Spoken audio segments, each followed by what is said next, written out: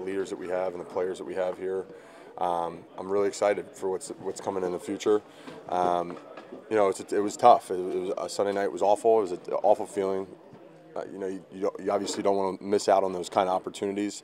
Um, but but like I said, it's motivation. We we, know we we have a chance to continue to do something special, and that's what we're going to try and do. And it starts, you know, today, I guess. I mean, you know, guys are going to get away.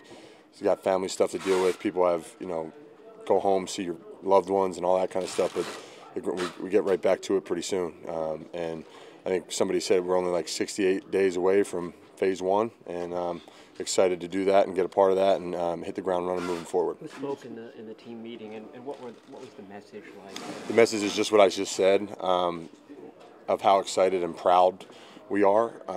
We felt as though we earned everything we got this year. We um, we weren't in the Super Bowl by chance. We grinded and um, won our way there, and we weren't lucky. We weren't. It wasn't some Cinderella story of us getting there. We earned that, and we were, uh, and we're all damn proud to be a part of that. Um, but the matter, the fact of the matter is, is, we didn't finish, and we came up short. And um, we have a lot of guys coming back in this locker room. Obviously, it's not going to be the exact same, um, but we have an opportunity to be one of those three teams that go back to the Super Bowl and win it after losing it the year before, and um, that's what that's that's the ultimate goal, and that's what we're going to try and do. Was it Kyle? Was it John? It was both. Yep. What do you say to the fans who went on this journey with you? Thank you. Um, it has been an unbelievable uh, year, a lot of fun, and it was it was a lot of fun because of the energy that we all felt.